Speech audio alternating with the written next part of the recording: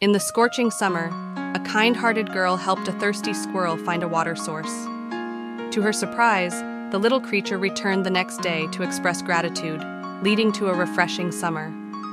Rushing to open the faucet for it, the girl realized the squirrel might have been deprived of water for a long time. After drinking, the squirrel was filled with gratitude towards the girl. Astonishingly, it returned the next day. Eventually, they became neighbors. During the intolerable heat, the squirrel sought refuge in the girl's yard, where she warmly welcomed it, providing fans and snacks for comfort, allowing them to spend a cozy summer together.